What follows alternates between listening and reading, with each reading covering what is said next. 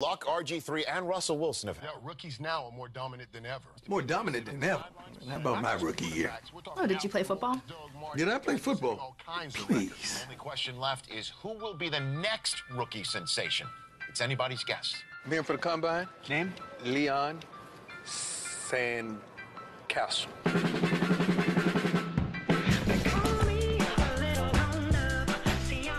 Who's the new kid? Sandcastle? Sandcastle. Looks like an ugly Deion Sanders.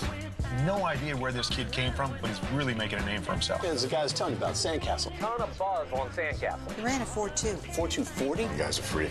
You attracted to him? Obviously. We should watch a draft together.